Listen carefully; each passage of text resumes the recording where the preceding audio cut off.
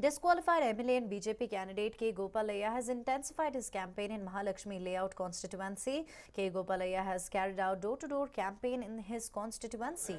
Housing Minister V. Somanna and local BJP leaders have also campaigned with Gopalaiah. They're, uh, the disqualified MLA leaving no stone unturned to retain his constituency. Congress has fielded M. Shivaraj in Mahalakshmi layout while Girish Nashi is contesting by polls on JDS ticket. This particular constituency is considered as JDS's stronghold and today as well Mr. H.D. Kumaraswamy will be campaigning for Girish Nashi, the JDS candidate. On the other side, Gopalaiah carrying out door-to-door campaign, also requesting the people to give him another chance.